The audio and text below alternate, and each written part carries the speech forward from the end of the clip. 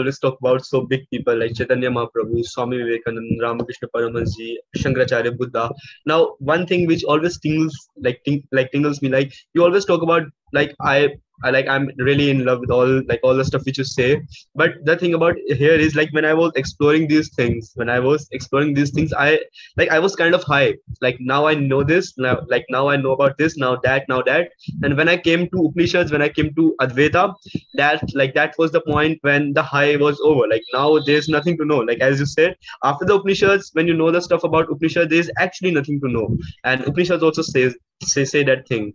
And like when I know all like all the stuff, at that point I was a celibate, like uh, like not celibate. Sorry, I think that's the wrong word. But I was following celibacy. I was a brahmachari, as you said, like the one who is in love with Brahm, who don't have to do anything with the body or with the or with the you know uh, and uh, about the sexual stuff. But he's in love with Brahm. That's why he's not able to get the time.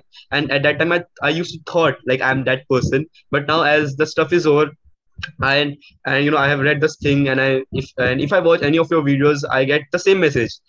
Stay unattached and advaita is truth and stuff like that. I get the same message either in this way or that way. And this you know makes me fall again into the you know the stuff about the masturbation thing. And this things give me so much clarity that i'm not um uh, like i don't have mumukshu. I just have a ruchi. I, I like i just have an interest. Okay this is a stuff and you know as acharya says mukti is a great thing to get. So why not get it? If i can get money I, I can get cars i can get ferrari i should also have mukti. So that's my interest. That's my ruchi. I'm not able to get the mumukshu. And like the like like we said like the buddha said i'm sitting over here. If i don't get that like the stuff which i'm finding i'll die over here sitting here. I i'm not getting that stuff. And for that i'm seeking your guidance how to follow celibacy again is the meditation the right thing to do right now is it the right thing to become celibate again like to follow celibacy again What is the question? What are you saying? when i use when i started watching your videos i became a brahmachari and i watch your videos uh, time at Answer my questions. What do you mean by brahmachari? What did you become? Okay uh, okay so uh, uh, the first video of which of i like i watched your first video which was about lord krishna and from there i started You became a brahmachari. What did you mean by that? What were you doing or not doing? i was focused on the stuff the mukti moksha and truth but i and i was not masturbating You're not masturbating. Okay, then and after i got bored watching your videos i started masturbating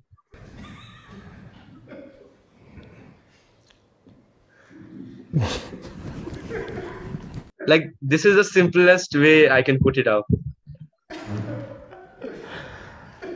sorry for that. No. like i'm like i'm not talking about a day. Like i if i watched your videos in the morning and I, in the evening i masturbate not like that. Like for a long period of time like for several months you can say even yeah several months are you know appropriate i watched your videos from let's say january to october i also read upanishads i also read vivek chudamani i did a lot of stuff but i didn't meditate but i didn't meditate.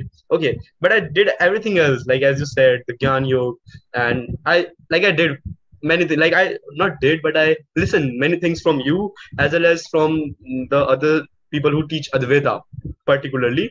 And after that it was over. Now i started masturbating. I had time so i masturbated. So now i'm like what comes to my mind is karthik you didn't meditate. Maybe that's the fault you didn't had that thing like you didn't meditate. Maybe that's the fault so now start meditating. And again like is it the right thing to do? Again because i'm not able to you know it was my interest. I was just not i was not watching web series. I was watching your videos So, in the duration you were watching the videos, you didn't masturbate. Then you got bored after a few months, and then you started masturbating. And now you are saying that you want to start with meditation methods. Is that the position? That is the position. Okay. I mean, why is it such a big deal? First of all, why are we talking about it? uh because uh, people say that one should not and i'm also feeling like when i do med like osho uh, osho said whatever you're doing do it don't you're like you don't need to like these are stuff which comes in my mind when i'm like uh, like uh, You, you, you, you, you drop all these big names. You tell me on your own. Why are we talking about this thing right now? There are so many things to talk of. Why are you talking of masturbation?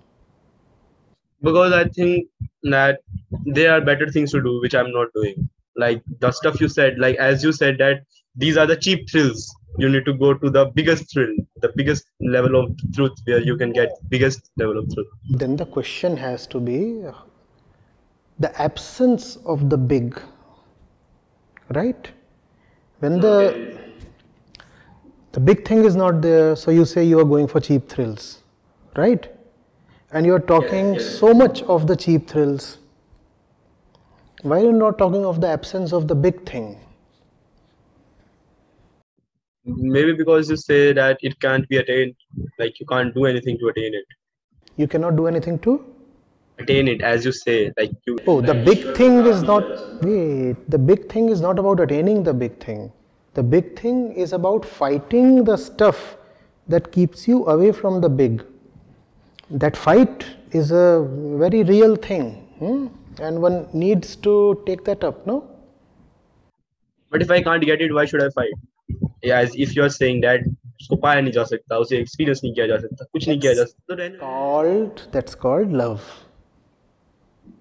That's called love. You cannot ever fully, completely have it, but it's still worth the fight. And when you plunge yourself into the fight, then you do not care about these small things. Mark my words, I'm not saying these small things will altogether stop. what I'm saying is that you will not care so much about them that you start raising them as the most important thing in your life when you are in a discussion like this. To me, it's as good as asking, Sir, I pick my nose once too often. What do I do about it? Or my hair has a lot of dandruff. What do I do about it? Pick your nose many times a day. Why should I care? Hmm? There is another organ dangling in your body. You play with it two times a day. Why do I care? What's, what's the big deal? The thing is, when you are in the in the right endeavor, then such things stop mattering to you. And I said stop mattering. I didn't say such things stop. They will continue because you have a chimpanzee's body. And we very well know that monkeys do masturbate. There are many species who do that. So that's there in your biological self. And it will take quite a while before you are freed of your biological self. Till that time, you will continue to behave like the monkey. And masturbating is a part of being the monkey. Are you getting it? So you will stop caring, and when you stop caring, you often find that you also stop caring to do it. When you stop caring for masturbation as if it's such a huge thing, then often it happens that you also stop caring to masturbate. Because it's not a big deal. When it's not a big deal then it stops being very enchanting. Why do you go towards uh, that activity of masturbation? Because there is certain attraction a charm in it right? That same charm is making you raise this question. Don't you see this question is in sense coming from the same point your masturbation comes. When you masturbate on your bed or wherever, you think masturbation is important, therefore you masturbate, right? Right now, again you think masturbation is very important, that's why you're asking this question. You have to take up the big fight in such a complete way that you stop thinking that masturbation is important. When it is no more important, then often you find that it is no more important to even do it. Still, a bit of it might remain, and then you shouldn't care much about it. But please do not use my words as license to indulge in sexual excesses. Right? Give yourself up to the right thing and you will forget all about these cheap titillations. And if some part of that still remains, do not worry much about it. What can you do? You are a monkey. The monkey has a penis. You are born with it. Huh? Are you getting it? Remember, how much importance can one give to picking his nose?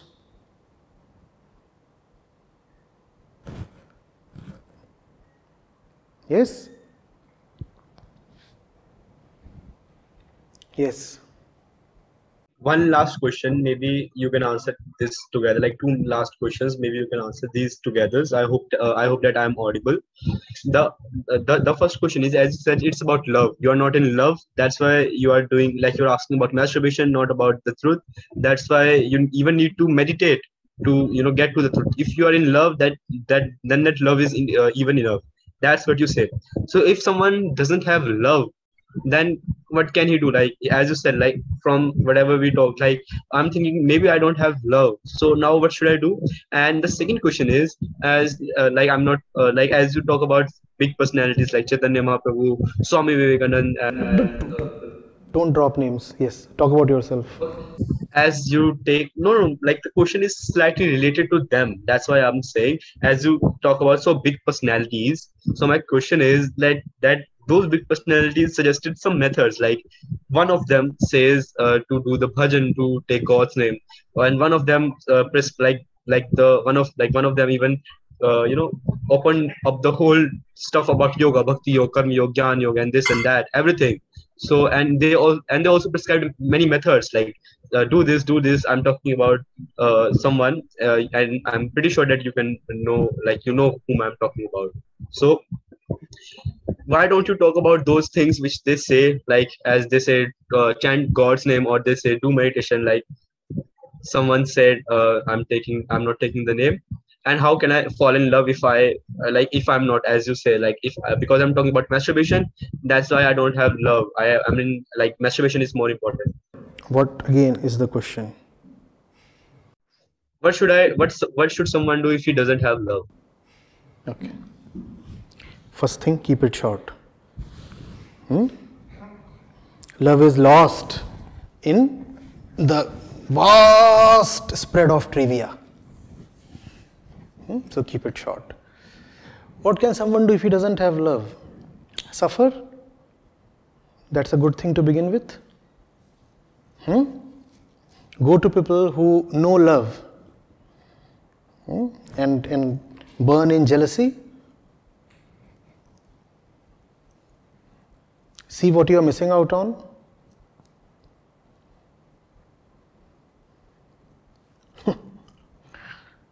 Sounds ridiculous, this answer, huh? A spiritual teacher is advocating jealousy? Yes, I am.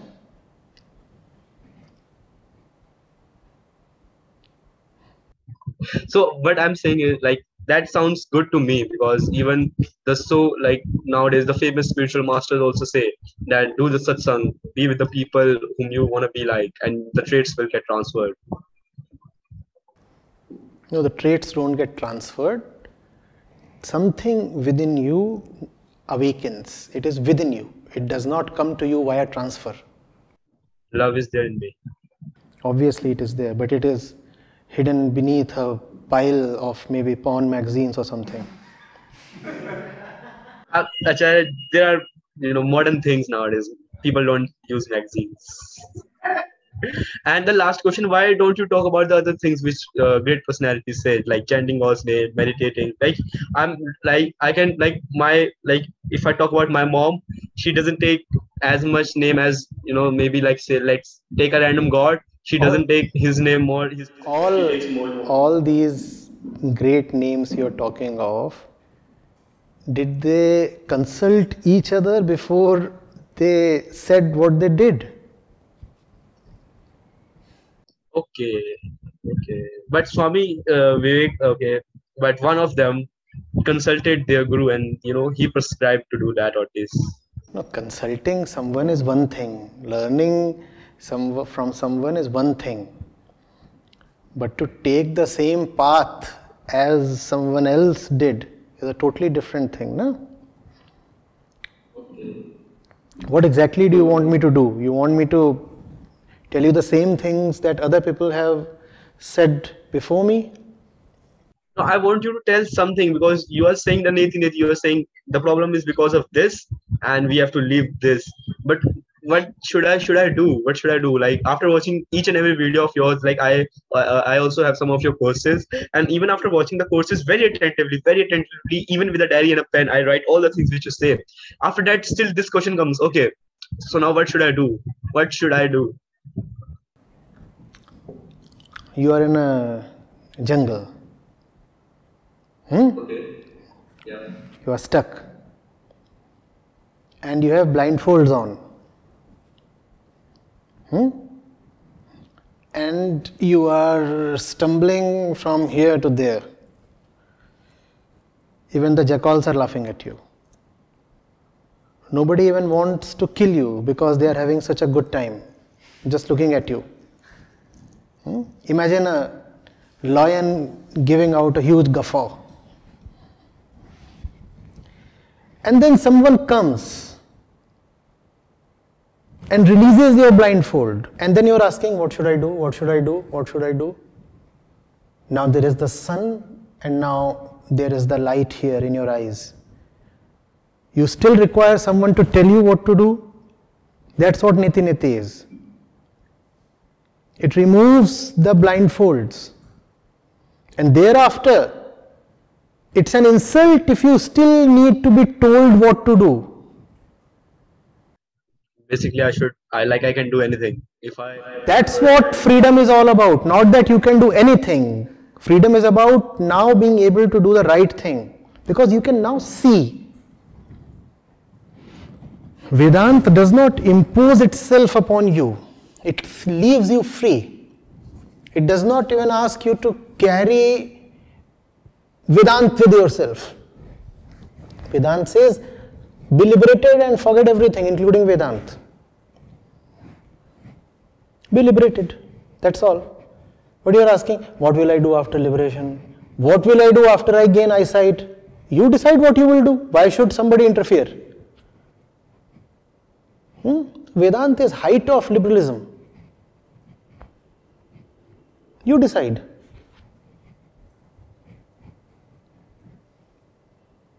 But you like to be told, you like to be mm, handheld. Huh? Some heavenly teacher should come and show you the way. You see, you should dance like this. You shave your head and start dancing. Now you are happy. I have been given something to do. Somebody comes and says, You give up your clothes and walk around hmm? like the crow. crowing your way into enlightenment. And now you are happy. I have been told something to do. Vedanta is for real people who do not like to be told what to do. Vedanta is for strong people. To use a sexist phrase, Vedanta is for real men. Hmm? And all the other so called spiritual thrills are for boys. Vedanta is only for the men. Hmm? Now, I'll be angering a lot of my fellow ladies, so advance apologies. When I say men, I refer to Purush, hmm? pure consciousness, and that pure consciousness is potentially there in women as well. So when I say Vedanta is for men, I have actually said Vedanta is for real men and real women. I cringe. Why do I have to explain every time? It's as if I'm apologizing you cannot understand my vocabulary and I have to go on offering an explanation every time. So, this is the last time. After this, I won't.